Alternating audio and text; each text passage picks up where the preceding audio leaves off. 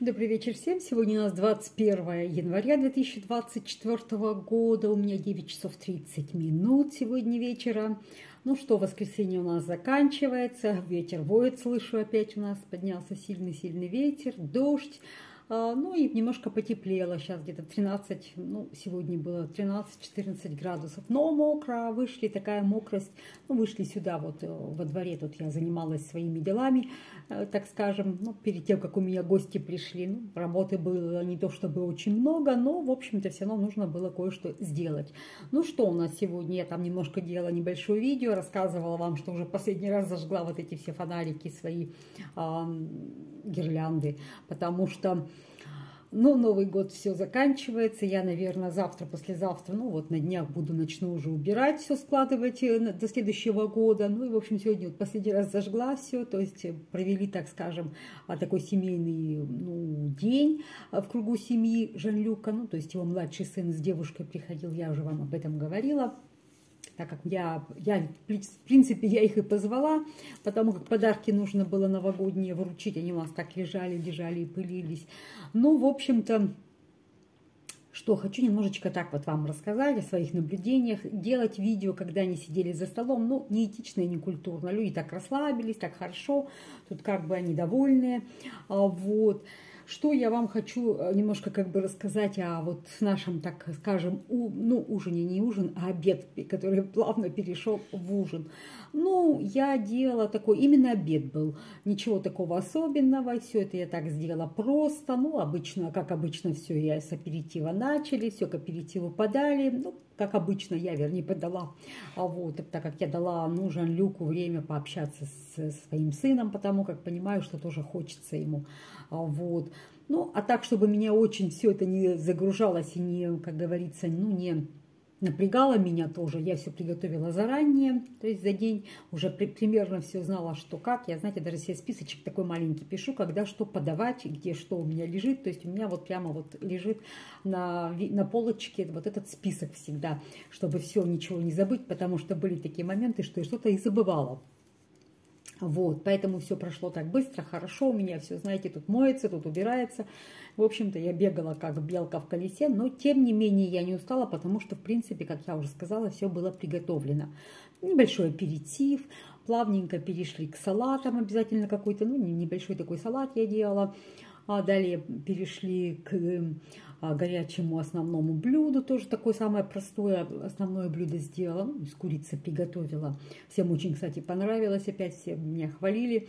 А вот, как я вам уже сказала, ну, семья Жан-Люка, она ну, не очень любит, вот э, бывшая, вернее, семья, она там не очень готовили, как я понимаю.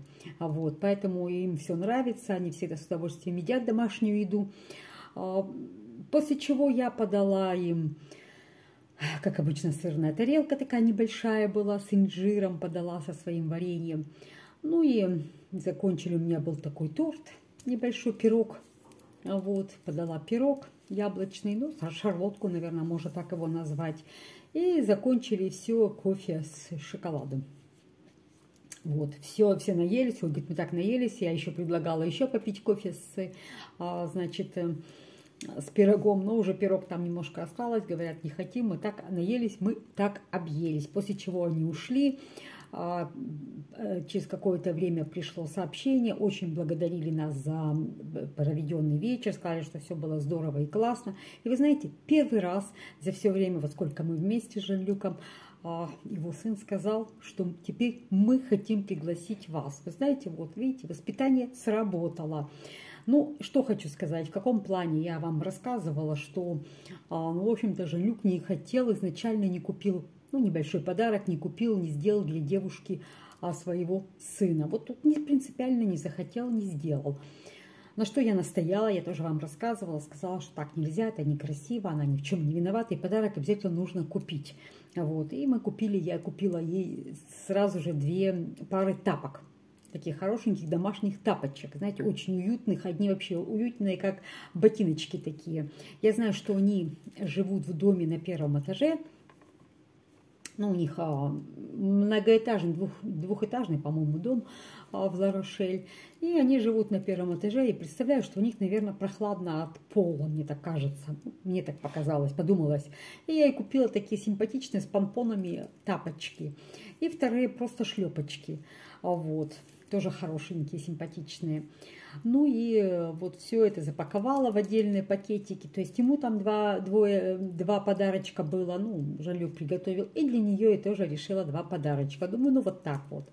А вот тем более тапочки такая вещь, что если не понравились, можно, допустим, маме, может отдать, или там у нее сестры есть многочисленная, большая семейство, думаю, господи, кому передарить. Тем более там даже вот эту, как бы, ну, этикетка была оторвана, цена, вернее, этикеточка на них осталась. Вот что это биотапочки, там прочие из биоматериала сделанные. Ну, короче говоря, вот так вот. Ну, она тут развернула все это. Я завернула в розовую бумагу для нее, для него там и другую, с надписями все сделала. Ну, они это все посмотрели. Она была просто, ну, очень рада и очень счастлива потому что она сказала, что именно такие тапочки тепленькие ей хотелось. Она говорит, я так люблю ноги держать в тепле, да, мне бывает иногда очень холодно. Это, говорит, прямо вот то, что мне бы хотелось. Я, говорит, очень рада. Я говорю, не знаю, размер подойдет тебе, не подойдет. Она говорит, нет, нет, это мой размер. Ну, размер мы заранее узнали. Она говорит, конечно, это будет очень здорово для меня. Вот, очень была довольна. Он тоже был доволен, причем он доволен был, ну, сын его доволен тем, что и ей подарочек какой-то а, перепал, и и, значит, подарочек какой-то ему. То есть а, оба получили подарки. Очень были довольны вниманием. Хотя мы сказали, что подарки ерунда, так чисто символические к Новому году. Очень а, в общем-то, были ну, тронуты. Он благодарил сын его и его, и меня тоже, что тоже, кстати, редко. Первый раз, что он говорит, я вас обоих благодарю, спасибо большое. Ну, видимо, он как-то почувствовал, прочувствовал, что, ну вот, понял, что это моя инициатива подарить ей подарок. То есть ему было приятно. Вот, после чего он сразу сказал, что да, конечно, нужен теперь, теперь нужен сделать визит, ну, чтобы вы пришли к нам. Мы, говорит, там что-то приготовим, сделаем. То есть вот так первый раз, представляете? То есть вот, видите, воспитание сработало. Нужно, не нужно, наверное, наказывать людей, да, за что-то тем более наших детей, за то, что ну, наказывать, может быть, их и нужно, но как-то не так, вот как вот, знаете, как-то жестко, как говорится. Может быть, не то чтобы наказывать, но надо воспитывать как-то правильно, под, подходить к этому. Я вот тоже это заметила. Злись, не злись, сердись, не сердись. Но вот смотрите, доброта все-таки, она порождает какие-то другие чувства. То есть человек должен уже по-другому, ну, как бы это сказать, относиться если ты относишься к человеку по-доброму, то рано или поздно он тоже начинает к тебе относиться с открытым сердцем.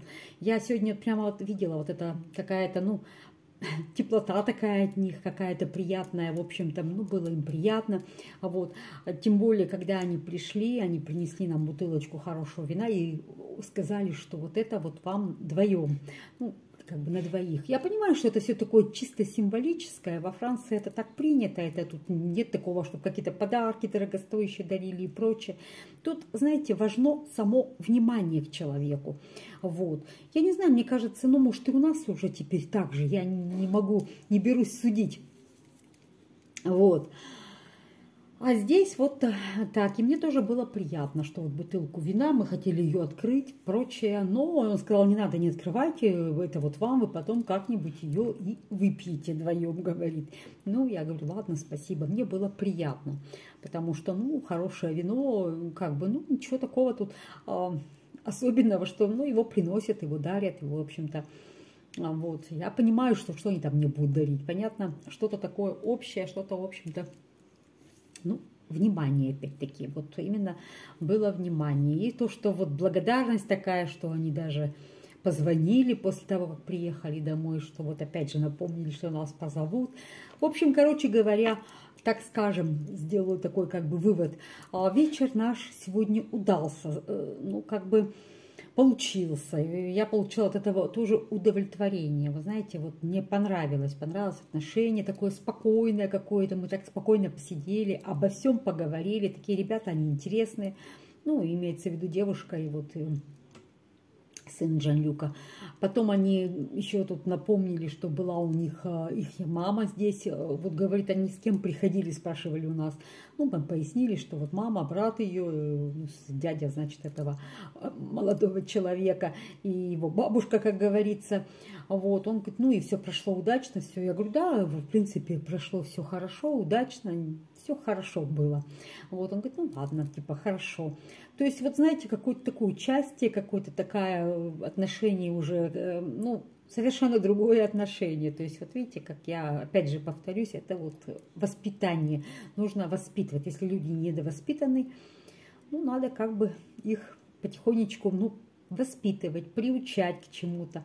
Вот. Причем ему, ему очень нравится всегда, вот приходит к нам в дом, все смотрит, говорит, так хорошо у вас, мне так нравится, так тепло у вас, спрашивал, чем мы отапливаем, какой у нас, ну, в общем, у вас, говорит, так комфортно, вот, и прочее. Вообще, ребята интересные, кстати, сказать тем, что мы вот сегодня тоже побеседовали с ними, но они говорят, вы знаете, сейчас многие мы-то с Жан-Люком не общаемся с молодежью, с такой вот, э, то есть у нас наша среда это люди нашего возраста, ну, старше нас, чуть-чуть моложе, а молодежи, с молодежью как-то, с молодежью как-то особо-то, ну, как общаемся, вот так вот, постолько поскольку. Так вот, они говорят, сейчас очень много молодых французов, ну, молодые семьи, ну, решают уехать в другую, ну, какую-то покинуть страну, Францию, и уехать и начать свою жизнь в другой стране. Вот, я говорю, как интересно, я даже как-то об этом не знала. Он говорит, да-да-да, многие молодые французы это делают ну, не знаю уж, в какую страну кто куда ездит, а вот, а я говорю, а вы что, тоже собира- собрались? Он говорит, да, мы тоже хотели бы покинуть Францию, чтобы, ну, пожить где-то, поработать в другой стране. Интересно, говорю, куда бы вы поехали? Ну, у них там несколько предположений есть, куда можно поехать, ну, может быть, говорит, в Аргентину, так, ну, он просто так сказал.